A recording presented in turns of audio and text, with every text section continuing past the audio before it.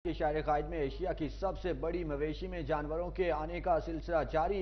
मुल्क के मुख्तलिफ़ अजला से तीस हज़ार जानवर मवेशी मंडी लाए गए हैं, जबकि मवेशी मंडी में सीबी से लाए गए पच्चीस मान वजनी मौज दरिया की धूम है। मसीह जानते हैं कराची से अपने नुमाइंदे इम्तियाज़ जखरानी से जी इम्तियाज़ आगाह कीजिएगा। बिल्कुल, एशिया की सबसे बड़ी मवेशी मंडी में जानवरों के आने का सिलसिला जारी है। तेरह हज़ार से ज़्यादा जानवर यहाँ पर आ चुके हैं। अगर मंडी की बात की जाए तो नादरान बाईपास पे ये मंडी मवेशी मंडी जो है वो कायम की गई है और यहाँ पर 600 700 एकड़ पे मुश्तमिल ये मंडी है और यहाँ पर तकरीबन 25 लाख जानवर जो है उनकी कैपेसिटी है, यहाँ पर लाए जा सकते हैं। तेरह हज़ार से ज़्यादा जानवर यहाँ पर आ गए हैं। ताहाल भी जानवरों के आने का सिलसिला जारी है।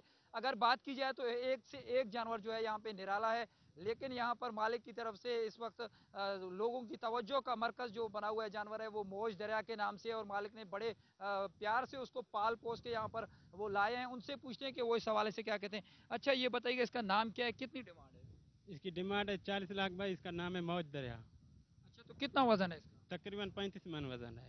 तो आपको चालीस लाख मिल जाएँगे? इनशाला उम्मीद यही है हमारी। क्या खिलाते हैं इसको? यार इसको खिलाते हैं चना खिलाते हैं गंदम खिलाते हैं और इसी के अलावा दूध पिलाते हैं और मक्खन देते हैं गुड़ वगैरह देते हैं यही देते हैं। जी बिल्कुल इनकी आपने बातें सुनी। इनका कहना है कि बड़े प्यार से मौज दरिया को पाला है।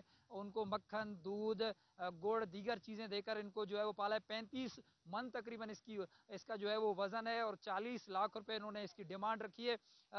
जानवर ये जो है मौज दरिया अभी तक मंडी की सबसे खूबसूरत जानवर है और लोग बड़ी तादाद में जो है वो इस जानवर को देखने के लिए मंडी का रुख कर रहे हैं। बड़ी तादाद में अभी भी शहरी जो है वो यहाँ पर मौजूद हैं और मालिक का कहना है कि चालीस लाख में ये जानवर इनशाला वो पुरज़म है कि वो ये जानवर उनका चालीस लाख रुपए में बिक जाएगा तो मंडी में जानवरों के आने का सिलसिला जो है, वो ताहाल जारी है। जी। शुक्रिया।